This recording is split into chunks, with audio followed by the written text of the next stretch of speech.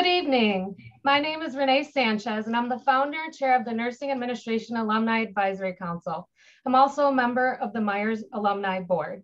I would like to welcome you to our event tonight featuring Dr. Patricia Benner. Dr. Patricia Benner is the Dean Scholar at the University of Nevada, Las Vegas School of Nursing, and a professor emerita at the University of California School of Nursing.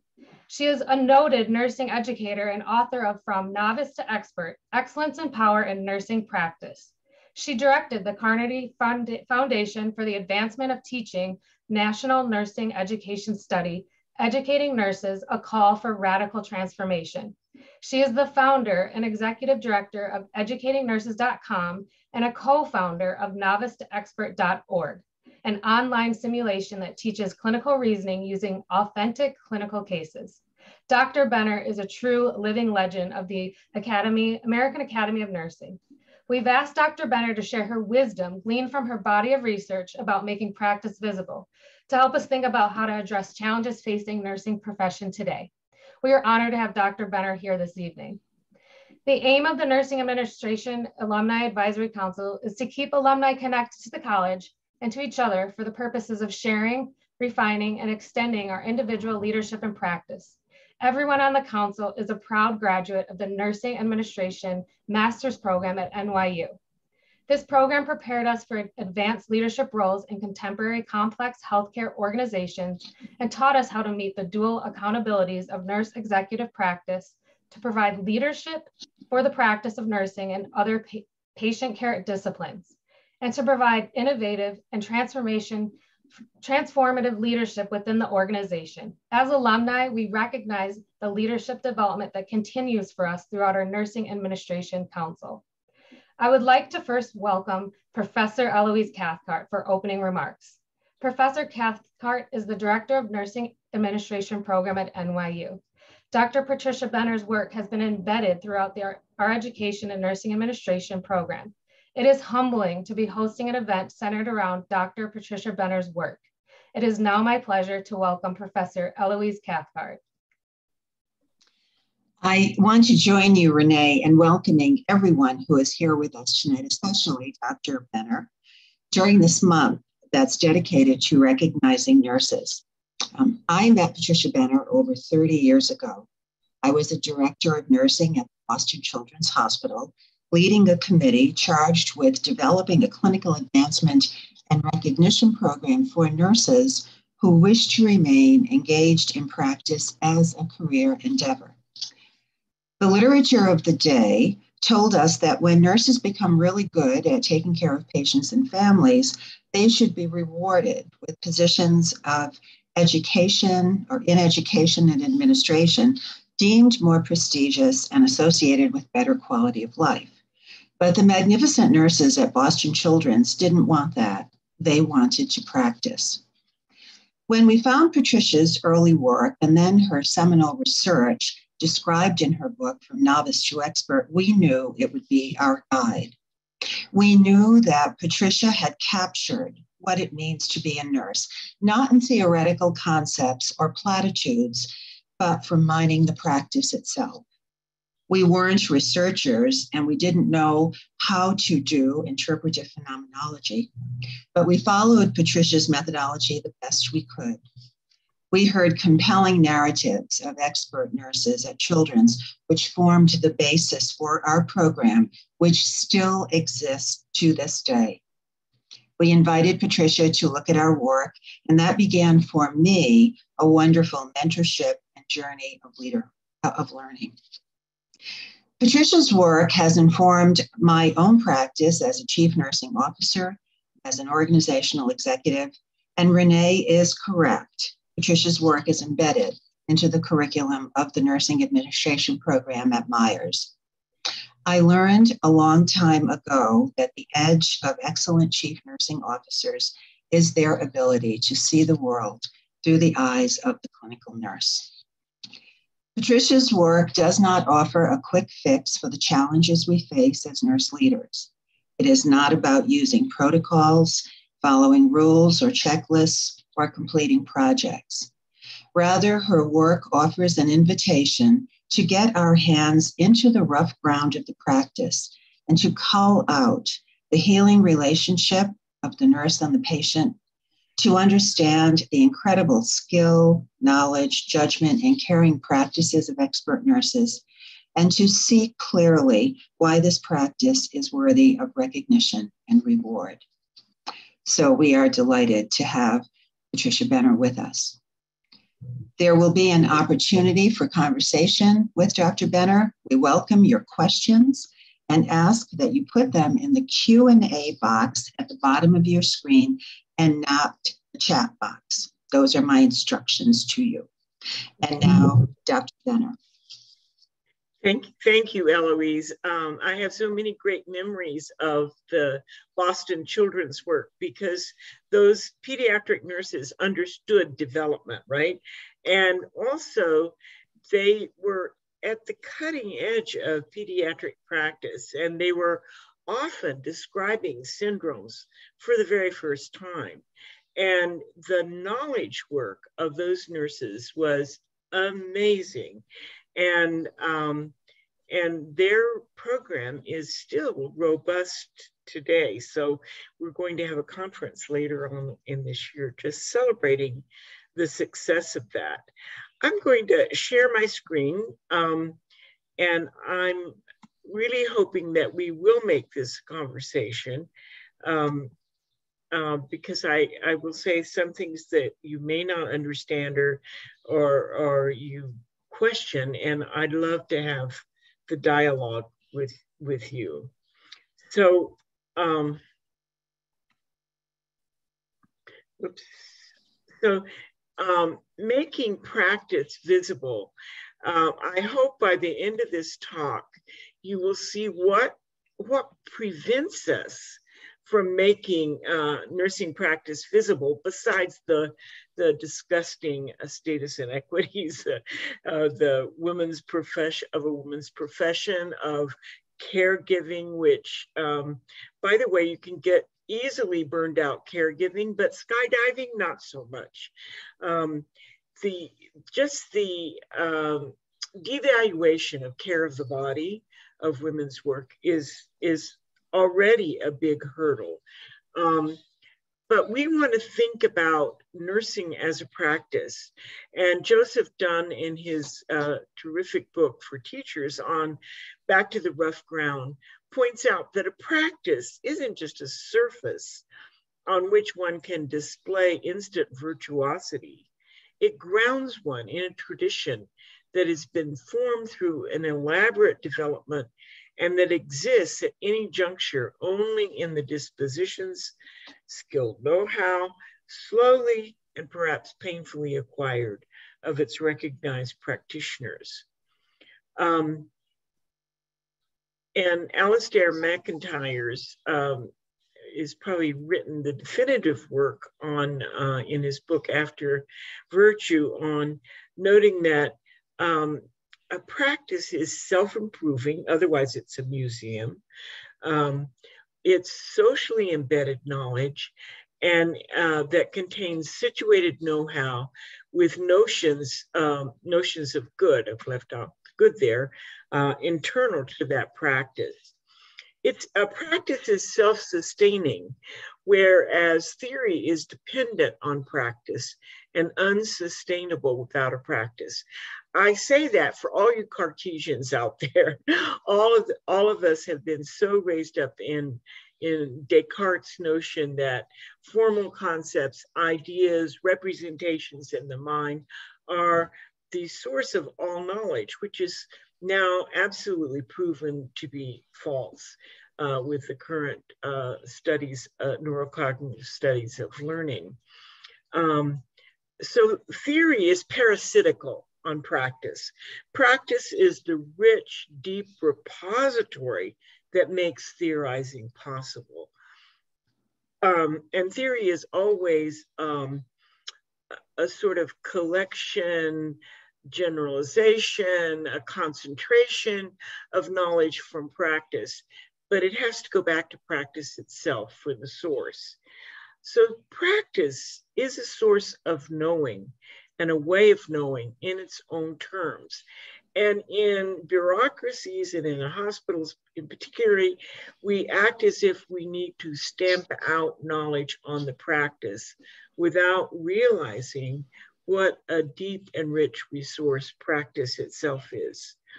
Because practice requires embodied intelligent agents committed to living out the notions of good and qualitative distinctions that are central and internal to that practice. Um, Sullivan and Rosin, in their book, um, an, A New Agenda for Higher Ed, talk about practical reasoning. And that's one of the focuses of our, our talk today. Um, practical reasoning, which is at the very center of frontline clinical nursing, it's clinical reasoning. Um, it was once central to education, but it's been eclipsed in the focus on utility on one side and on abstract analytic thinking on the other. And nursing, it's been the nursing process, which is a ersatz uh, scientific reasoning process that no cl clinician ever really uh, can engage in because uh, nurses engage in science using practical clinical reasoning. We'll come back to that. But this confusion over um, uh, scientific snapshot reasoning uh, as the way, as, as the source of nurses' practice and knowledge is very confusing. Practical reasoning, in contrast, is concerned with the formation of a particular kind of person, one who is disposed toward questioning and criticizing for the sake of a more informed, responsible practice engagement. Such persons use critique in order to act more responsibly uh, and in order to uh, realize the valuable purposes and ideals that guides the reasoning. Now, we did a study of nurses who had been in practice for over 20 years, but weren't considered experts. And what we found is that they had um, they had a problem with qualitative distinctions and notions of good. They bought the story that nurses just engaged in scientific reasoning process, this disengaged standing over against snapshot reasoning that models scientific um, problem solving, which is terrific for scientific experiments, but you, you can't make that happen in uh, clinical practice. So Jane Rubin did a, a, wonderful chapter for us in expertise nursing practice. And she points out that these nurses who had little or no narrative memory of their actual practice, when they told, when they, they, they tended to give us litanies of tasks and events, we did not get acquainted with their patients when they told about their practice. Um, and Jane says about these, Dr. Rubin says about these nurses is that they were somewhat aware of their problem. Um, their awareness uh, manifested itself in their wish to make a difference and to have a genuine sense of making a difference, a genuine sense of agency. Um, and Jane points out the solution to the problem would seem to be neither psychotherapy nor ethics courses for these nurses, important uh, as these are in other contexts. But a form of nursing education, and I would add, and of nursing practice, that is governed by the goal of improving clinical and ethical judgment by focusing on the goods specific to nursing practice and the skills that allow nurses to achieve them. And that's the heart of this presentation. Um, practice as it's actually done on the cutting edge by expert nurses is all but invisible to us by, by virtue of the way we describe our practice. Um, so expert nursing practice uh, includes this rapid clinical reasoning, practical, a form of practical reasoning, reasoning across time about the particular through changes in the patient and or changes in the clinician's understanding of the patient, uh, the patient's situation. So it's situated thinking action, situational awareness, skill know-how, and rapid clinical decision making. But descriptions of this and awareness of this is all but missing in nursing. Um, we're hindered by formal written accounts of knowing that and knowing about, with almost no descriptions of knowing how and when, or descriptions of situational awareness and rapid clinical reasoning. Formal accounts of knowing that and about, I want to really convince you today, prevents the description and our awareness of and our development of expert nursing practice. Um, we imagine that techne or technique um, uh, in uh, Joseph, Joseph Dunne's book, again, Back to the Rough Ground, is, is confused with uh, uh expertise or phronesis, wisdom in the Greek uh, tradition. Techne is about producing or making things. It can be standardized, outcomes are predictable, separating means and ends are not a problem. Um, but clinical judgment, um, as phronesis or wisdom and skilled know-how, is not at all the same as techne. It is that reasoning across time uh, with notions of good in mind. And I'm going to give you examples of um, this situated thinking in action account versus the formal knowing that and about counts and have you judge the distance between those two descriptions. It, um, because situated practical reasoning, frontline expert nursing practice is engaged, embodied, intelligent agency required, and it focuses on acting responsibly for the good of the patient outcomes. So phronesis or clinical judgment and wisdom are best suited for underdetermined situations. Now, most clinical situations, and if you're an e emergency department nurse, this is writ large, but really, most clinical situations are underdetermined. Often there are comorbidities, there are multiple treatment interactions and patient responses. Um, so uh, clinical reasoning requires ongoing experiential learning.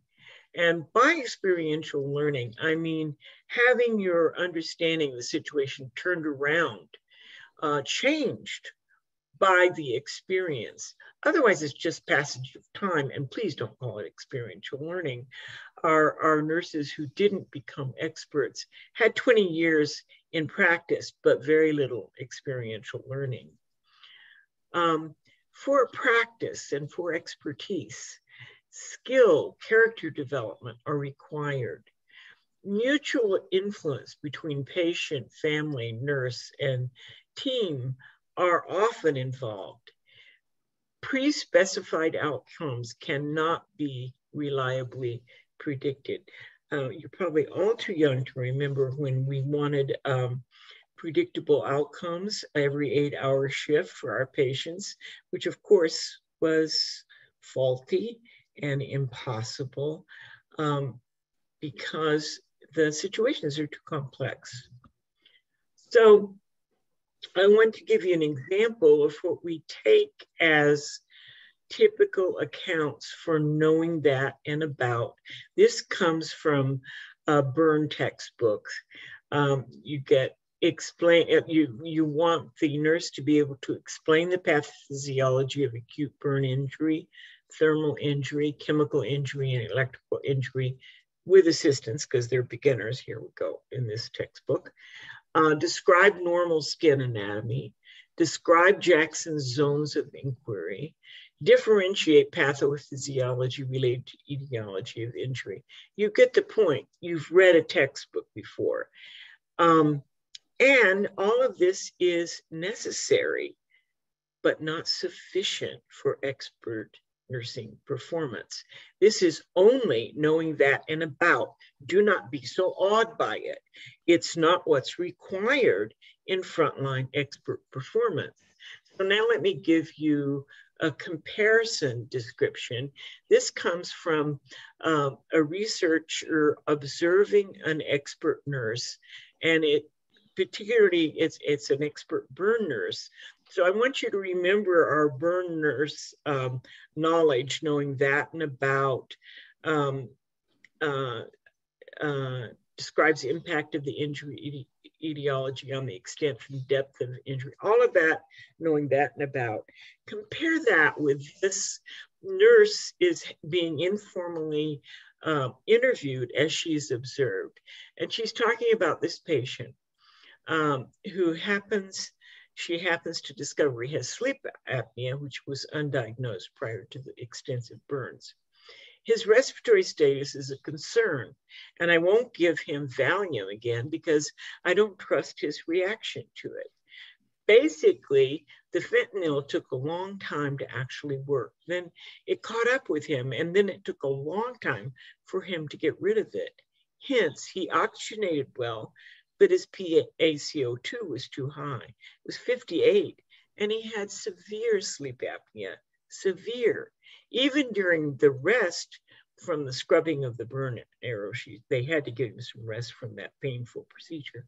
We had to keep waking him up with and with the fentanyl, he just didn't wake up very well. And we had to sit on him a while, wait for him to light, lighten up. In the process of all this, his blood pressure went really high, which is not usual. Systolic was 200 at one point. Do you hear all the interpretation here? Systolic was 200 at one point. His diastolic was 120, I believe. So I just put a bunch of pillows behind him and tried to bring his chin forward to decrease that airway obstruction from the sleep apnea. I talked to the doc and gave him some nifedipine. His heart rate was really high, 160 to 175. This was all happening at one time. Did we mention clinical reason that's rapid and multifaceted and layered? This was all happening at one time. And basically, I think that he uh, that he was having sleep apnea and he was groggy. And even though I kept asking him about his pain, he said, No, my pain's fine. I think he had an underlying, I think he did have underlying pain though, because, but he couldn't articulate because he was so groggy. He was too groggy.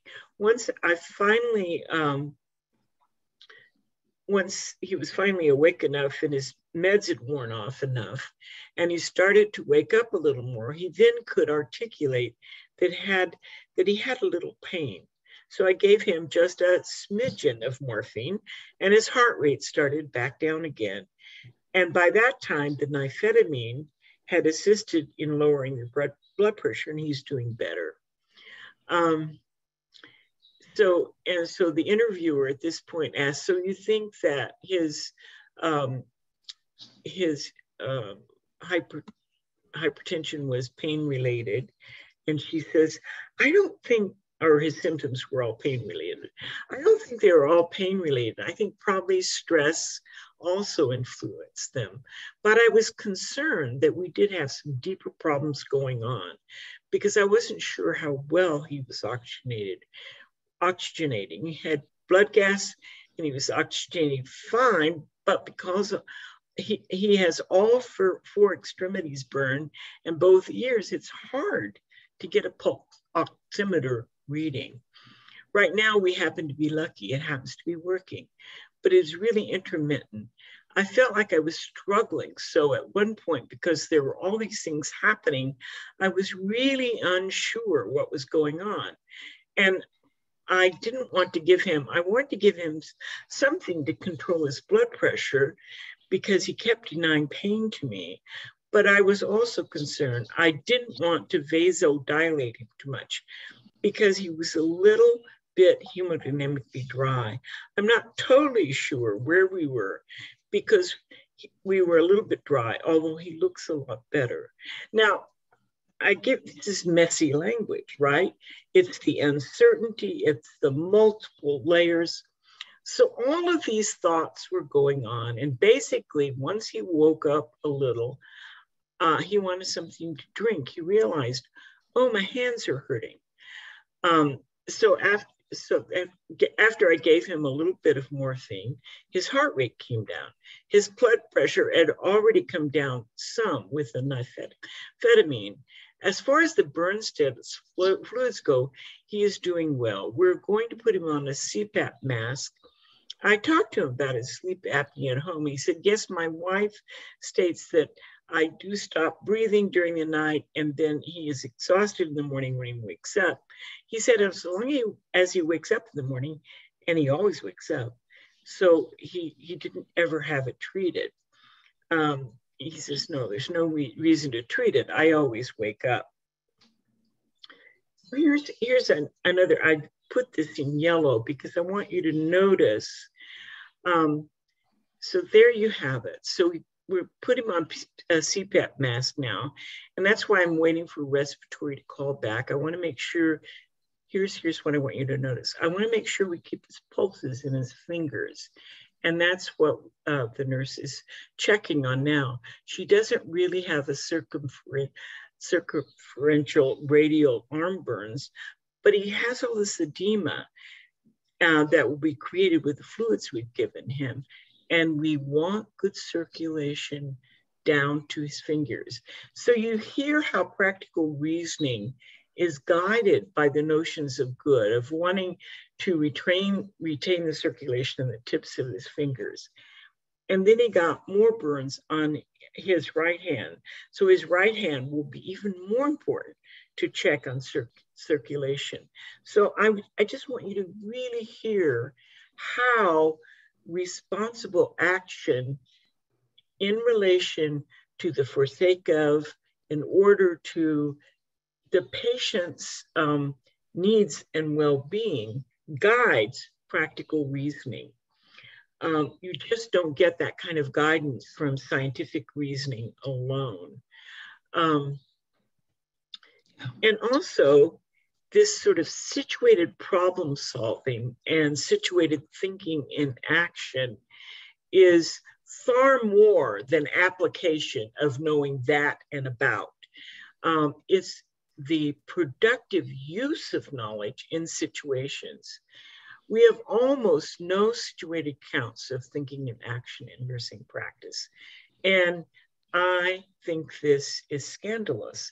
I, uh, in, in my studies of um, the skill acquisition model, I, we observed, interviewed um, over 650 nurses, and we, we gathered all of these narrative accounts, these first person experience near accounts of actual practice. And I just, it was such a strong lesson for me of how little uh, administrators, even uh, even practicing nurses, really have good language to articulate the nature of that situated thinking and action that is characteristic of expert practice. Um, unlike high reliability organizations, hospitals are tend to be more protocol driven, uh, checklist driven uh, and, and really focused a lot on systems engineering. We do not, like high reliability organizations, study the knowledge embedded in expert nursing practice, nor track successes or failures of our frontline knowledge workers. Uh, for example, during COVID, we had no structures and process at hand to study what the nurses and physicians were learning directly from the COVID patients. And all of our analogical reasoning was far off because COVID was much more neurological. It was absolutely novel.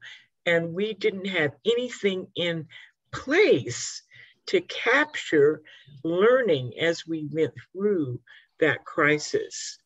So we're not taking practice as a way of knowing uh, seriously in its own right.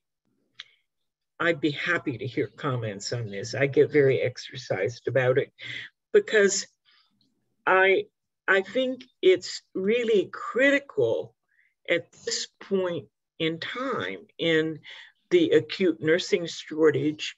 And I think hospitals are going to be hard put to compete for staff nurses, uh, particularly staff nurses who stay in the hospital for long periods of time.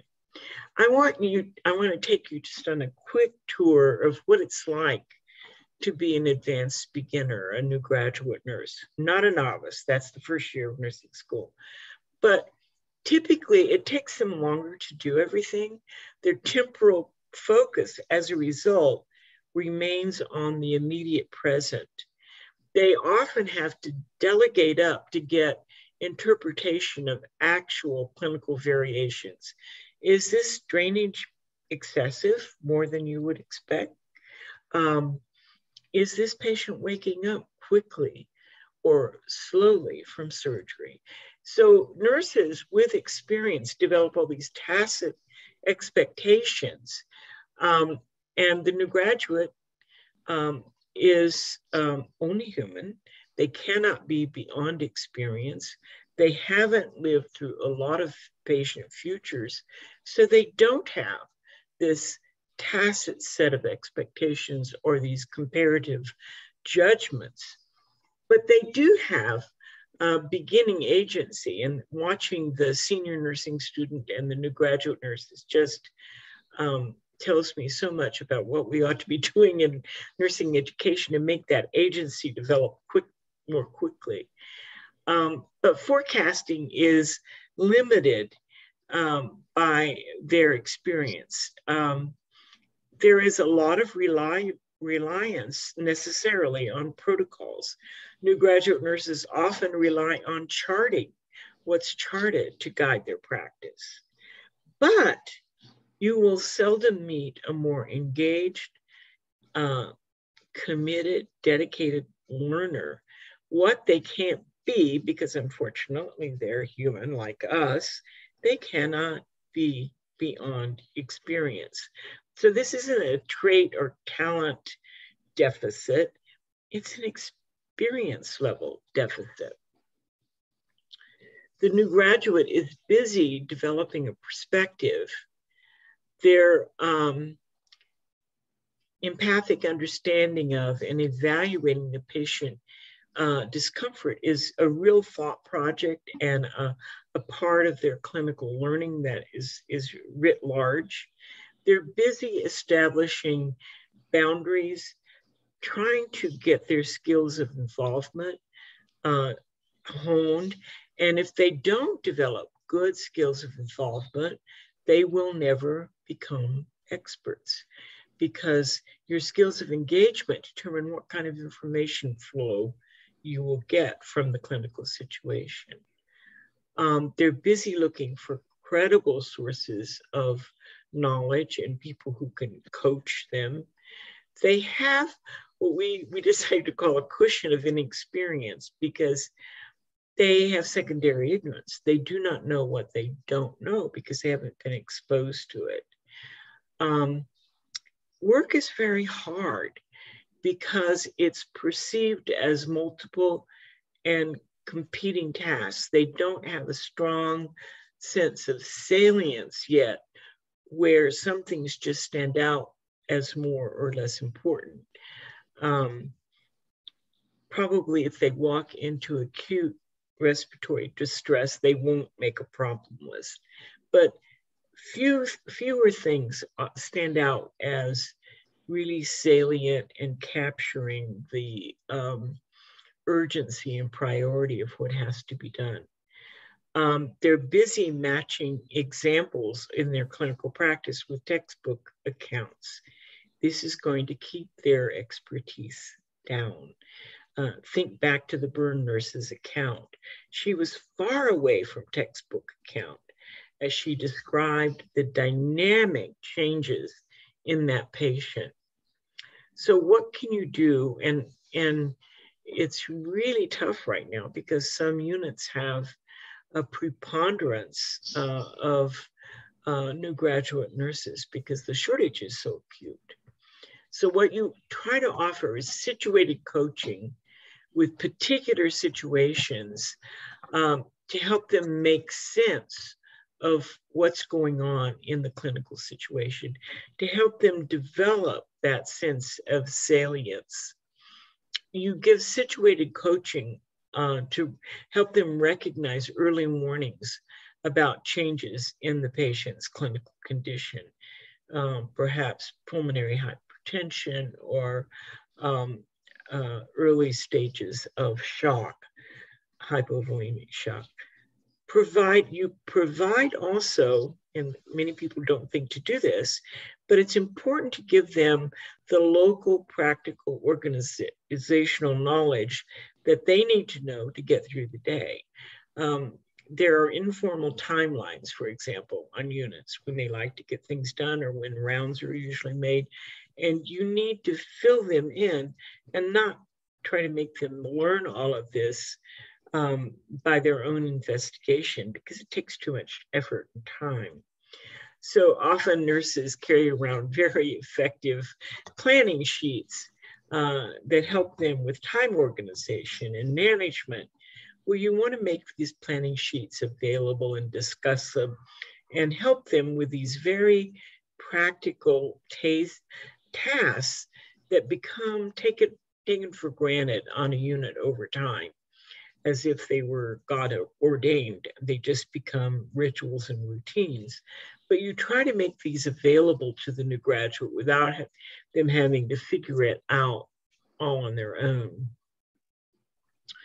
So uh, one of the questions, which I thought was excellent, and I, I, I should pause here, um, was if we don't have expert nurses to help those advanced beginners, what do we do? And um, I have some suggestion here. I think each shift and care unit needs a resident expert clinician to be on call to coach the advanced beginner. And they actually need to make rounds on the advanced beginner because um, that secondary ignorance problem, the advanced beginner doesn't always know when to call for help. But at the very least, a Zoom telemedicine kind of system for instant consultation and, and, and when necessary, encourage calling a rapid response team. Um, for rapidly changing situations that if you had all expert units, uh, nurses on your unit, you might not need. But with advanced beginners, you will need this kind of backup of expert experiential based knowledge. Um, so the goal is to keep offering situated coach, coaching to increase situated awareness. Um, on med-surg units, cluster patient assignments for the new graduates so they can take care of a lot of stroke patients consecutively or a lot of uh, coronary artery disease patients consecutively so they can begin to develop this comparative judgment. We find that um, nurses advance more quickly in critical care simply because the patient population is much um, less varied and the, and the problem situations are much more predictable. And you can deal with that a bit on the med-surg unit if you tailor those, those clinical assignments so that students are having repetitive experiences with multiple uh, cases of patients with stroke or cardiovascular disease or, or whatever. And why not provide expert clinical narratives, relevant, salient patient population uh, information on a particular unit so that you can get the students these accounts of situated thinking and action, of rapid expert clinical reasoning practical reasoning across time. And this is far more effective than any case study you would ever use because you get that situated thinking in action. You get a strong sense of the case unfolding across time, and um, it it stays true to the way things unfold. Um, so by using first person experience near narratives, much like the burn example I gave you, um, we can make the expert frontline nurse's knowledge more, more visible and we can reward it, we can develop it, but as long as we're so ignorant of it, we won't be very good at development. Um, do you have a rich narrative account of every successful patient early warning, every successful patient rescue? Do you have a rich narrative account of every failure to rescue and the contextual aspects of that failure? This is what it means to be um, a really conscientious, high reliability organization that focuses on knowledge development in the front lines. So thoughts and questions. I know this is a tough time um, for getting um, uh, support for advanced beginners um, and with the nurse nursing shortage. Um, we have we have a few questions on that. Okay, great. Um, so we have some people asking about um, a lot of managers rely on advanced beginners to mentor other advanced beginners or new grad nurses, um, and we often forget that you, they need support as well. Um, so how do we how do we support um, you know both advanced beginners themselves and advanced beginners supporting other advanced beginners? Yes. Um, well, it's true that an advanced beginner that's six months ahead will have something to offer to that that new graduate, I think. But if at all possible, you really want them to be uh, to have access to situated coaching from that expert nurse or from the um, even proficient or competent level nurse, um, because you're trying to develop their clinical imagination and you're trying to um, decrease their secondary ignorance, their cushion of inexperience. So if you just have them paired with advanced beginners, they don't get the um, development of clinical imagination and the problem solving that you saw with the um, with I think that uh, burn nurse who was working with a new graduate nurse that day, and she was having the new graduate do something that the new graduate could do around checking for perfusion. But think how much learning could occur between the expert and that advanced beginning nurse. Mm-hmm. Okay, thank you. And then um, there seems to be a lot of interest about the on-call resident nurse. Um, and I is that do you know any organizations that currently do that? Uh, I do know many hospitals have developed uh, deep, more decentralized staff development where they have the resident staff development nurse on every unit. Um, but I know that's it's a hardship right now to think of making that happen.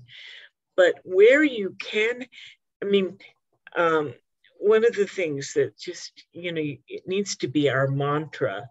Um, patient safety isn't fungible. It's not exchangeable. It's the best and most important good in itself.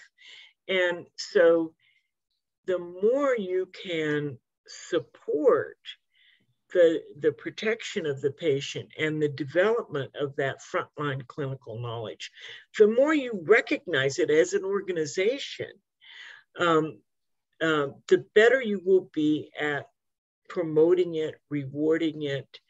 Um, so, but I, I do think that at this time of uh, low, low level of tenure on units, to have a, a in resident uh, situated coach, it, it would be a terrific uh, assistance in patient safety and in development of the nurse so that they increase it, increasingly become safer. Sure. And I think I'm going to um, hand it to Eloise for a second. I think she has a question.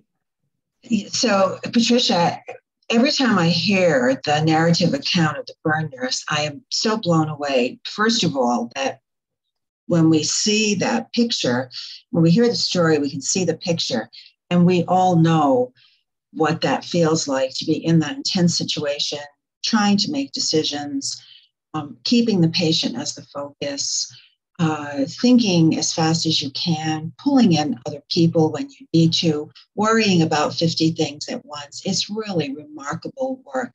And, and I'm always struck by the chasm that exists between the textbook description of what it means to be a burn nurse, and then you hear what it really means to be a burn nurse in a particular situation.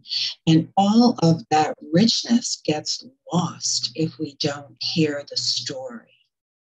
Yeah, it, it's you know it's an old philosophical problem of uh, the limits of formalism and our just great tradition of talking about things in terms of knowing that and about as this, you know, standing over against an objective situation rather than giving an account from an engaged, situated actor, agent who is actively working for good ends.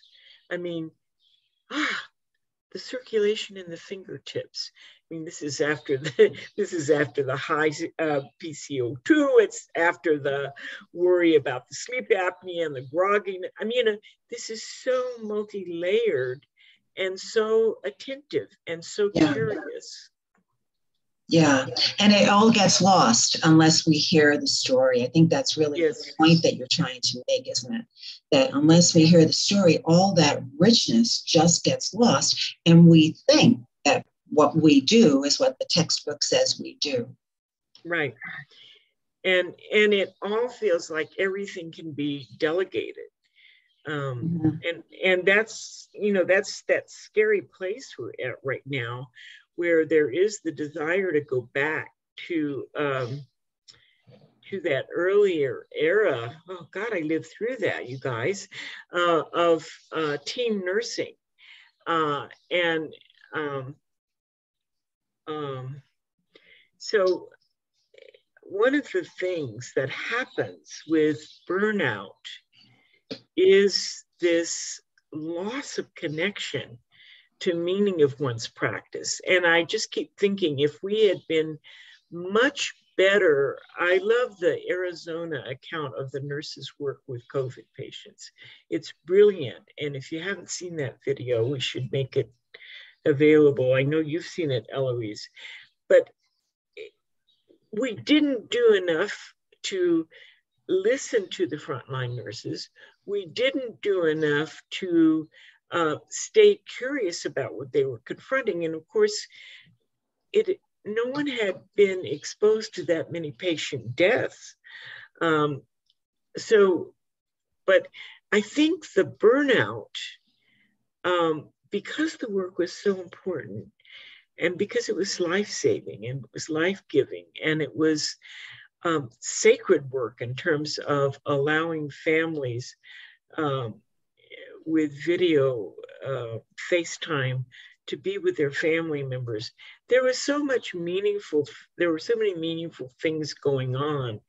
And we focused on the victimization and on the burnout and the difficulty.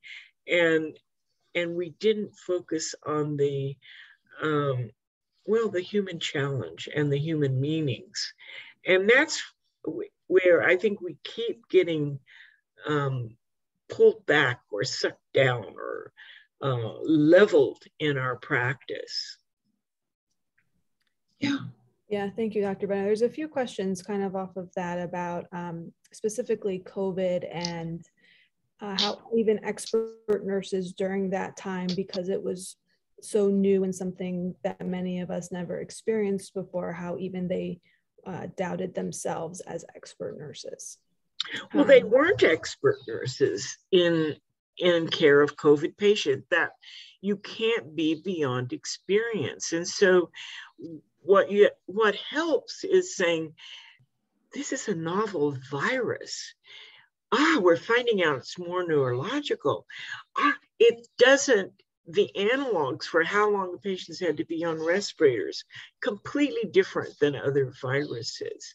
Once you publicly and socially acknowledge um, that and you quit trying to pretend there's an analog out there that's going to work for you as if you know what's going on um, you you're better off. I mean you're on a new frontier. You are learning and you can't be beyond experience. And we were all new with covid.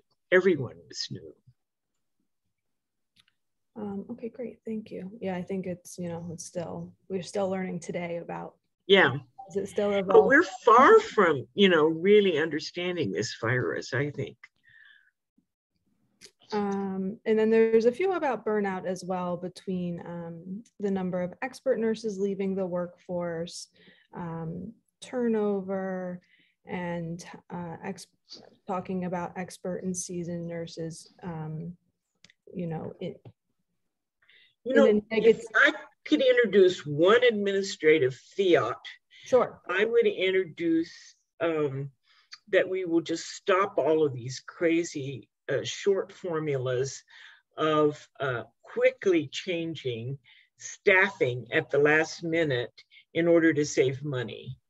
Um, this is no time to be doing that. And uh, when nurses are overloaded and they're caring for a lot of COVID patients, the work is novel we don't need to be adding uncertainty with rapid shift variation or staffing variation. Um, so there are some administrative things that we could do. Um, quit imagining you can reduce cost of staffing right now. It's not. It's not possible given the variability in the demands and the short staffing. Yeah or the quick or there are really no quick fixes right i mean you know we think that building resilience is the answer but it's really not about resilience. It's about being connected to the practice and right. feeling a sense of meaning and accomplishment and good. Talk about that patricia. Well the um, i love the um, and I hope I'm right, it's either New Mexico or Arizona nurses that uh, Time, uh, New York Times featured. Um, it was called Nursing at the Front Lines. And Eloise and I'll make sure you get the reference because these nurses demonstrated the most exquisite skills of engagement. And it was awe inspiring what, uh, as they described the difficulty you know, uh, of multiple deaths and not having a family with a dying patient. Um, they also talked about how important it was to be there for those patients yeah. and what they learned from those patients. And that's what we have to elaborate. Um, one of my all time um, favorite narratives is called Seeing Joan Through from Loyola, Loyola um, Chicago Medical Center. And Joan came in age 52, multi-organ system failure. She had, she needed triple valve replacement. She had had rheumatic fever as a child, and now she was having um, liver failure, uh, multi-organ system failure. And it took two months of painstaking dobutamine titration, uh, uh, range of motion, uh, shoring up communication. Uh, at least a month of that time, Joan was combative uh, due to encephalopathy. And so at, at the end of two months, they finally had her uh, in in um, nutritional balance and and and and organ restoration, so that she was um, a candidate for surgery for triple valve replacement. And the nurses got this brilliant idea. Here she was, institutionalized right down the middle of the bed.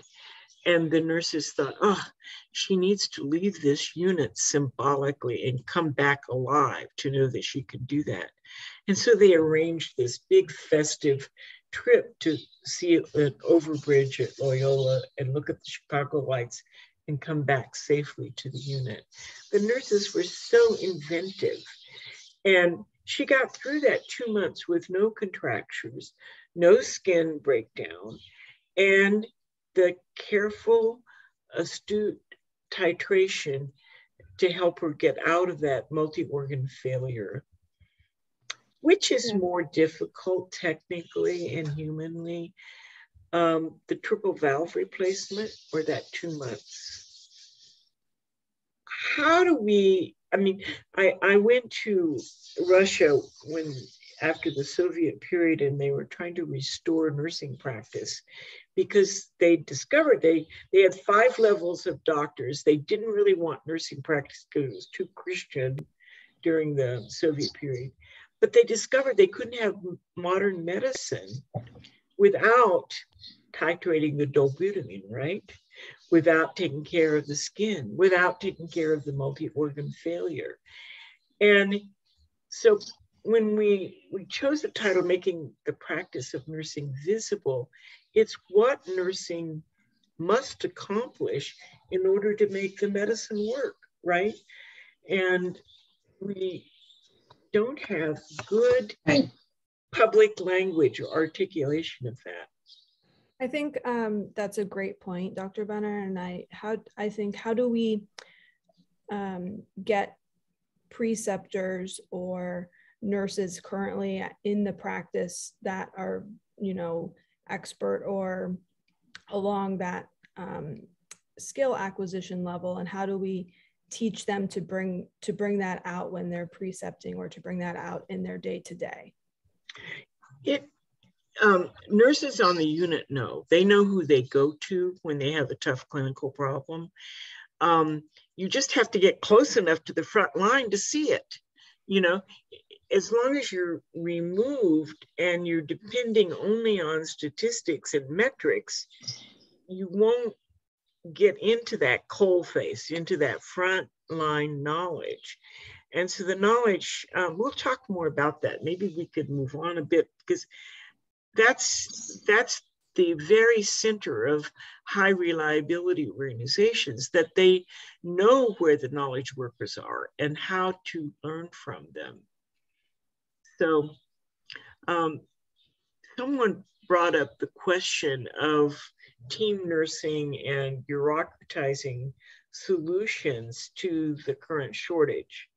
And here in Las Vegas, let me tell you, all the hospitals are doing team nursing. It scares me to death. I would have myself flown out of the area if uh, I needed acute care right now.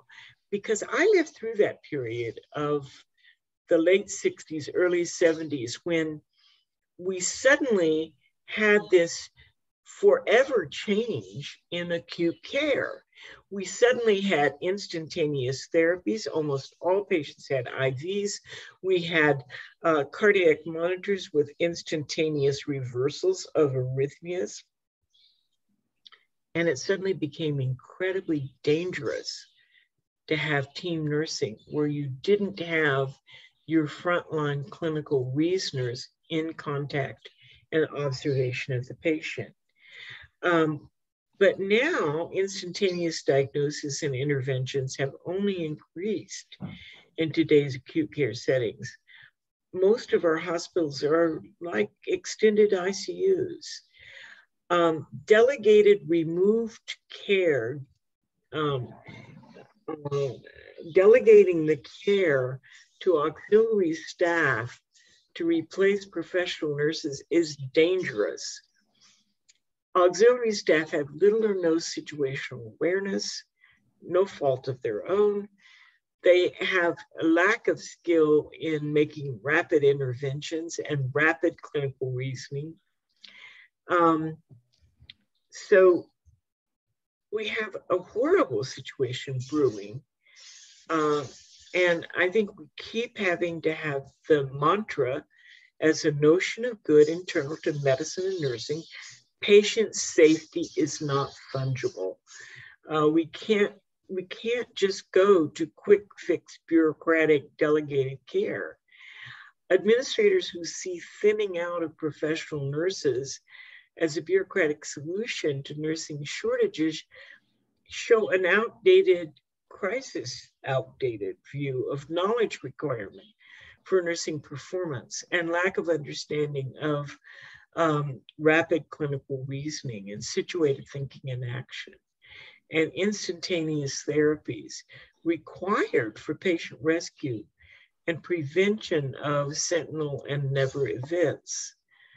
Um, this is what scares me. I mean, I, I, and yet I know if you're in the hospital and there are no nurses, um, it's a very, very challenging situation. But we have to look at it as um, shoring up and making more of that observational time available. I mean, we also have a shortage of physicians as well. Um, so um, if you have thoughts on that, I mean, it's a terrible uh, situation. I do think we can make more use of resident staff experts and development people on each unit that have low tenure in their nursing staffing. And we can use more uh, telemedicine kind of consultation. Um, the other thing that I think is so important to do is to prevent nurses uh, from leaving during the competence stage. Um, if you can begin to inoculate that advanced beginner, oh, please don't, don't leave when it feels so hard to you because it's going to get better. And if you leave, you just regress and you have to learn all over again. Um, because if you leave during that confident phase, it will make it take you longer to progress to proficiency and expert.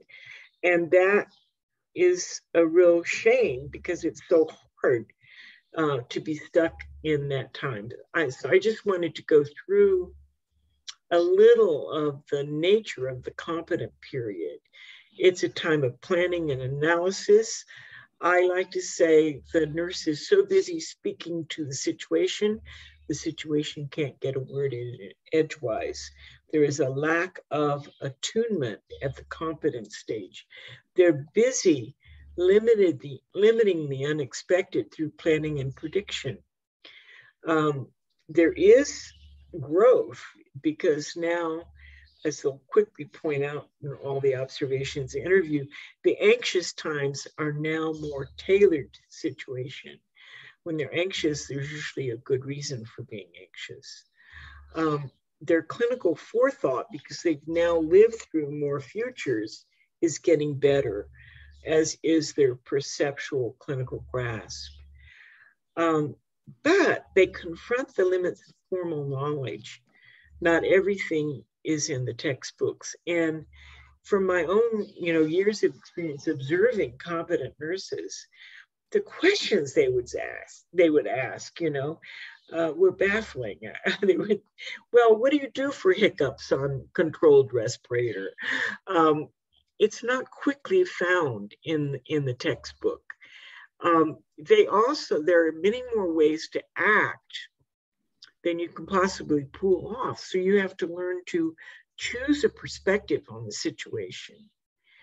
Um, thank God, pattern recognition and tacit knowledge is development, developing so that you begin to have a kind of um, intuitive grasp of when a patient isn't waking up quickly enough or a patient isn't tolerating that shift in fluid shift in warming up from open heart surgery. The other thing that happens at the competent stage is the encountering the patient's suffering anew. It's as if um, during the advanced beginner stage, they um, are so busy caught up learning tasks and getting things done that the patient recedes a while. And now the patient's suffering may come in in a very, very strong way. That's very disturbing. So um, there's a process of disillusionment because they now can recognize that not everyone is an expert nurse, that they lack the resources on the unit, certainly if they're on a unit with low tenure. Um, and the limits of planning and predicting is frustrating. I mean, it's a makeshift situation. Um, so there is this kind of crisis in trust, an excessive sense of responsibility. This is the time where they go out and buy huge medical textbooks looking for answers to practical problems. And you can see that there's no time to leave the job. Uh, if you can give them situated coaching, if you can have them work with proficient and expert uh, nurses, um, so that they begin to uh, be more attuned and adjust themselves to the situation. Um, and I think the best thing you can do for the competent nurses, pair them with expert and proficient nurses to help them develop clinical imagination and enhance experiential learning. Um, uh, um, so anything you can do, and, and, there has been some research, I know in my own hospitals I was affiliated with locally in California, uh, they found if they kept nurses through the second year, they were likely to have those same nurses 10 years later. It's a huge retention strategy. So we're coming to a close here, but the catching up with high reliability organizations, it took 23 years for hospitals to really begin to identify and, and, and consider themselves as high reliability organizations. It, the work started in 1987 it was introduced in hospitals um, in 2006. Um, Weick and my favorite book on um, high reliability organization. And they, um, they talk a lot about mindfulness and knowing what you don't know and studying um, failures, preoccupation with tracking uh, small failures. Um, and they point out you get complacent when you study successes only. It's important to study success, but you shouldn't only study success. Uh, reluctance to simplify operation. This has been a major problem. Donabedian's suggestion that we need to decrease all variability also decreases life reliability because in highly variable situations, the last thing you need to do is reduce variability. So we need to be much more sophisticated um, about not oversimplifying operations. Um, and again, go back to the burn nurse example. Um, there's a limit to simplifying that. Um, this respect and deference and recognition of frontline expertise, knowing who your expert nurses are, and getting um, both observing their practice and getting the first person experience near narratives. Um, so I thought I'd close with my it's my my privilege of my age, my unfulfilled um, research based wish dreams if I could wave a magic wand. I would have clinical promotion systems that develop, make visible, extend, um, and understand better the expertise in clinical nursing practice. I would require first person, as we did at Boston, uh, experience near narratives as a center point for clinical promotion programs. And I would also publish those narratives and make them public so that we begin to have a language of situated thinking and action and rapid clinical reasoning across time and situational awareness. Um, that we study and better understand failure to rescue. Um, and again, that situated account, not statistical accounts, uh, but what goes wrong, what what made a rescue successful, um, what what impeded a possible rescue. Um, so how how we make, I mean, if I had money for every every time I've had administrators say to me, oh, we need to give more continuing education to nurses. We need to listen to the nurses at the front line. We need to study their practice. We need to understand it better. We need to be curious and attentive and responsive to the nature of expert clinical reasoning, which is what's required in today's uh, acute care settings with instantaneous therapies. Um, okay. Um, unfortunately, we only scheduled for an hour and we could, I'm sure, go on for much longer than that. Um, and I am, thank you very much, Dr. Benner, for um, all of your insight tonight. I know everyone appreciated it. Um, and I'm going to hand over to Stephen to uh, give some closing remarks. Hello there. What an exciting start of Nurses Week. Um, thank you, Dr. Benner, for your, your time. We really appreciate having you here tonight and sharing all of this knowledge and wisdom with us. Um, I was tasked with um, having a few of my own takeaways, and it was definitely a little bit of a pressure, but this is what I came up with. Um, so this is definitely a challenging time for nursing, but it's also an exciting time. You know, it's really an opportunity. Um, we can't continue to have the richness in nursing get lost. Mm. Um, nursing, everything that we know cannot be delegated, and patient safety is the ultimate goal. Patient safety is not fungible. It's the most important good in itself. Nursing is not scientific knowledge alone. Expert nursing practice also includes rapid practical and clinical reasoning, knowing the how and when, situational awareness. Um, so I'm a nursing leader at Weill Cornell. So, you know, this was great for me and I really seek to be more innovative and really incorporate situated coaching to increase situational awareness and, and thinking um, for the nurses on my unit. Um, and we could really do this by sharing, as you had shared, rich narrative accounts, including providing expert interpretation, articulation, and coaching of these cases. And, you know, not only focusing on our successes, but also on our failures. And then finally, you know, a big challenge that we all have today, you know, some areas of the US more than others, but our workforce. Um, and I mean, I think you've laid it out perfectly well. We really have to look at our care models. And I, I think one popular suggestion or idea was the resident expert clinicians. Mm-hmm. Um, so thank you again, Dr. Benner. We really appreciate your time. And, you know, thank you to everybody that joined us tonight. Um, we, this was wonderful. Thank you. Have a lovely spring, everybody, and stay safe and, and well. Thank you, everyone. Thank you, Dr. Benner.